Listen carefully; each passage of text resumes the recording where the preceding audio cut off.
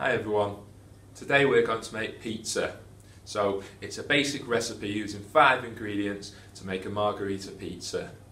You can add additional ingredients to your product. So you can add additional toppings, so things such as peppers, sweet corn and, and mushrooms, or you could add things like chicken and and other types of meat such as pepperoni or salami. So that's entirely up to you, down to your taste. Um, I'm going to weigh out my bread flour, so I'm using bread flour, but you could use plain flour. I've preheated my oven, ready to go, and all I need to do now is weigh out my 250 grams of flour I am also going to add a little bit of passata onto my base with my tomato puree.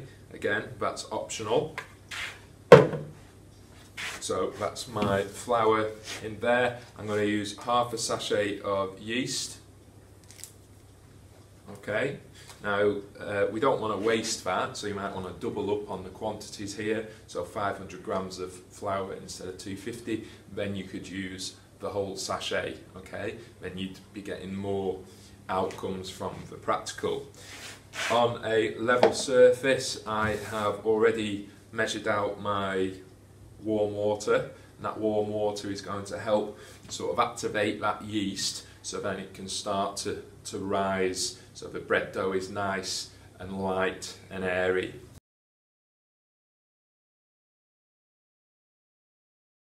Okay, so I'm going to just put a well in the middle, pour my water in. Now you might see chefs put a hand in there and start combining it and kneading it and um, straight away. But what I would suggest is just um, start by using a mixing spoon, okay? Just so it gets to the consistency where you can put your hand in there and start kneading it Okay, now at this stage, if it's really too dry and it's not coming together, it's not binding to create a dough, then you need to add some more water. Okay, if, it, if you've put a little bit too much water in already and it's really runny and sticky at this stage, you need to add a little bit more flour to make it to the right sort of consistency. Okay,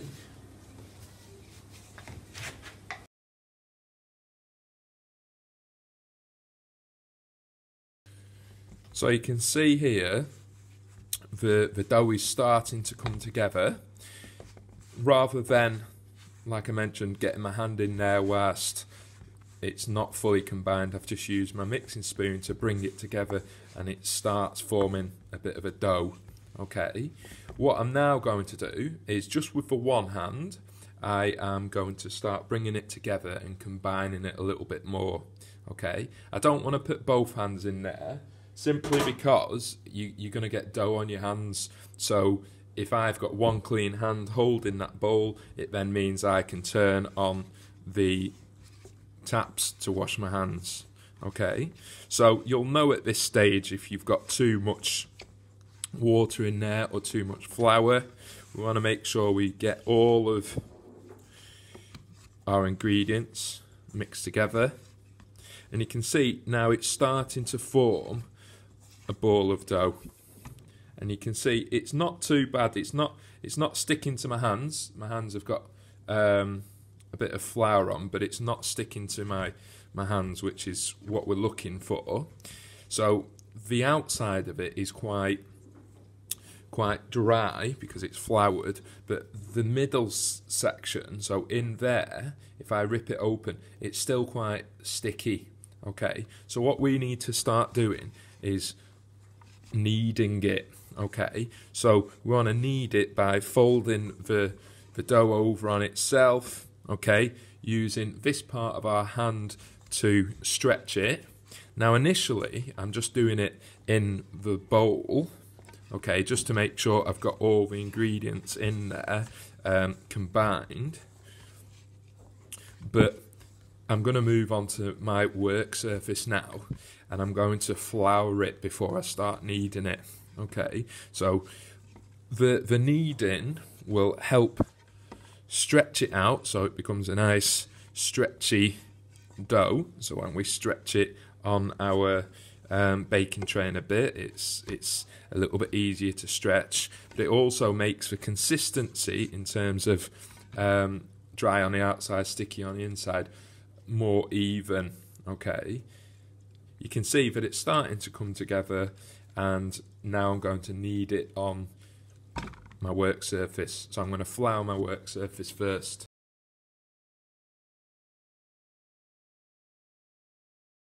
So you can see just a little bit of flour, make sure it's a nice clean work surface. You might do it on a, a chopping board.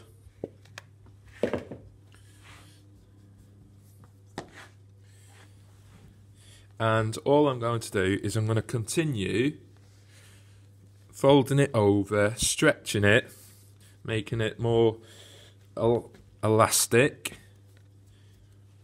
it just means that when I stretch it out for my pizza, it's a little bit of a better consistency. It doesn't rip. I'm folding it over.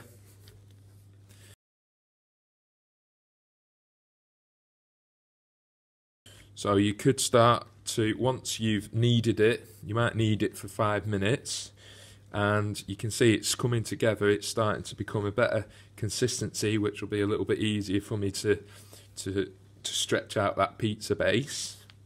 And after I've kneaded it, I'm going to put it back in my bowl. And if you've got time, you're going to prove it. So you might see on um, like Great British Bake Off, they've got things like a proving oven. Okay.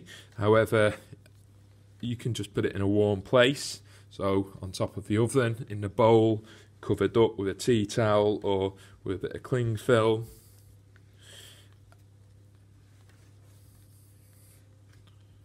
Okay, so you can see it's starting to come together as a nice sort of dough consistency. I, of course, only put flour, water, and yeast into my bread dough. However, you could season it with um, a bit of salt. You could put a little bit of oil in there as well, just a maybe a tablespoon. Um, you could start running other sort of flavours through it. Uh, sort of might get some herbs in there. So what I'm going to do now is I'm going to put it into my bowl. I'm going to cover it with a bit of cling film and I'm going to leave it for about 20 30 minutes you know, over the top of the oven um, or, or in a warm place to allow it to prove and you'll see it double in size and you'll see that um, as well as it sort of rising um, it'll look much more sort of light and airy Okay?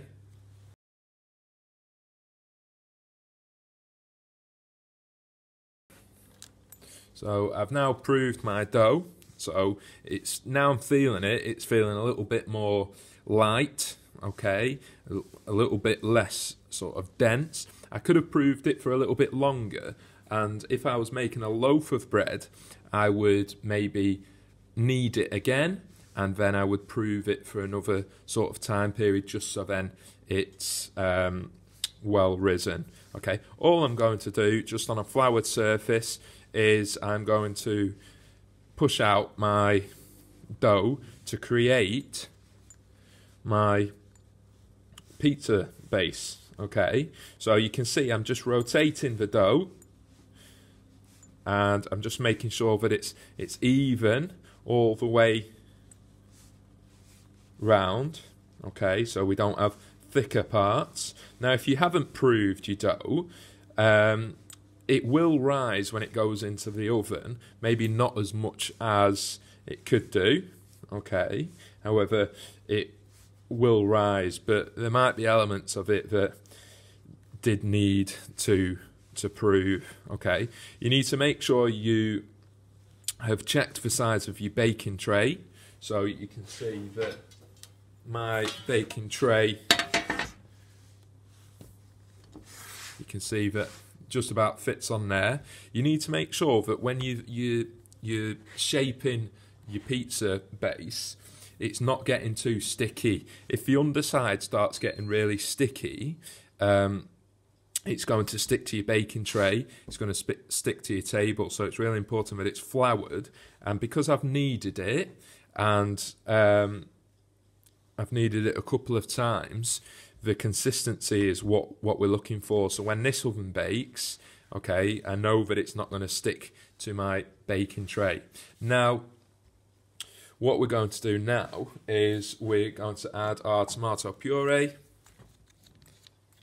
Okay, so if it's a new um, tube of tomato puree, the end of it has um, a little point on it so you can pierce through. Okay, and all I'm going to do, not too close to the edge, I'm just going to put my tomato puree across and I'm going to use the back of a spoon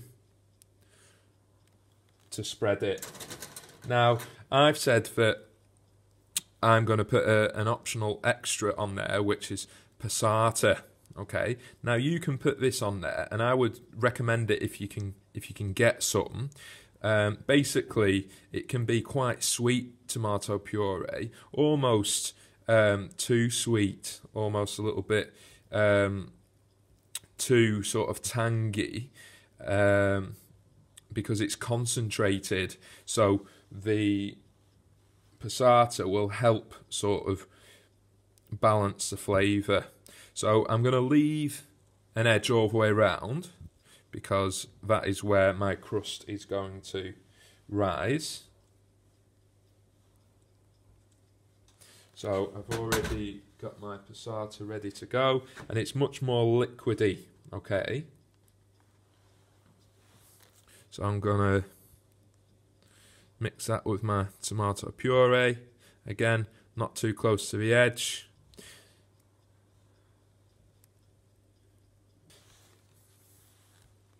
Might want to put a bit more passata on there. Okay.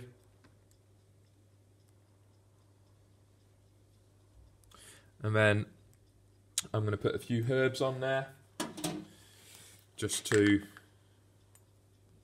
add to the flavour. So just in the lid, I'm just going to sprinkle it. You might have mixed herbs or you might have oregano or a bit of basil. It's a nice little sprinkling.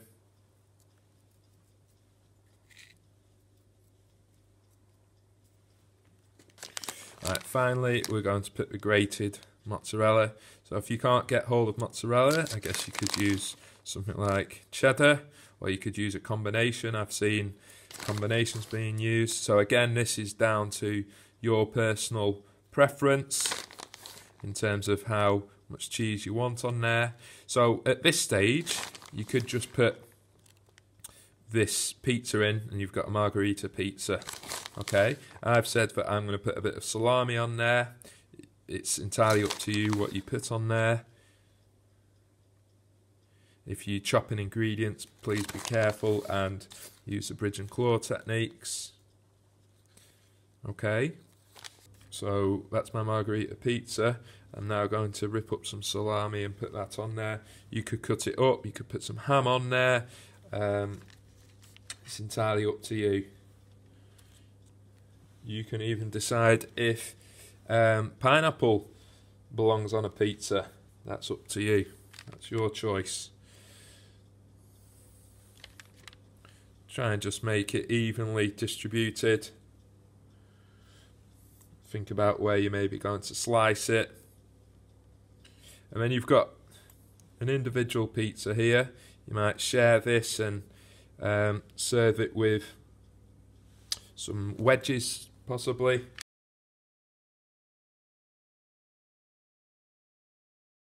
So my pizza's ready to go into the oven. Oven gloves on depending on size of your pizza and your oven type, you know, it could take 15 minutes. It's something that you just need to keep an eye on until all the cheese is melted and the crust has started to go golden brown. You know that that, that dough is well baked, okay? So I'm going to put a timer on for 10 minutes initially and I'm just going to keep an eye on it and then it might need like I say, another five minutes, might need another 10 minutes. So I'll see you when it's baked.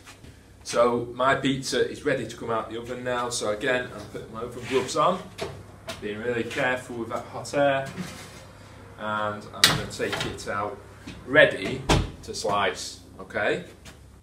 So here we go, we've got my pizza. You can see that the, the dough has started to go golden brown. You can see it's risen uh, to create that crust.